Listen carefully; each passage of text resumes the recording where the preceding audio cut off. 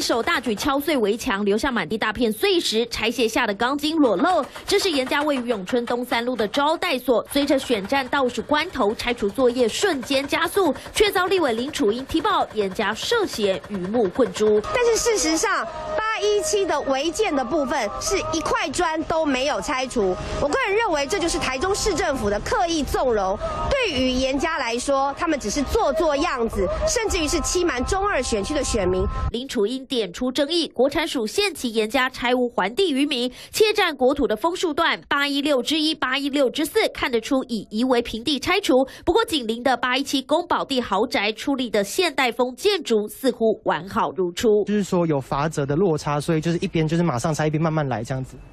一切按照哦这个监管单位按照法律程序哦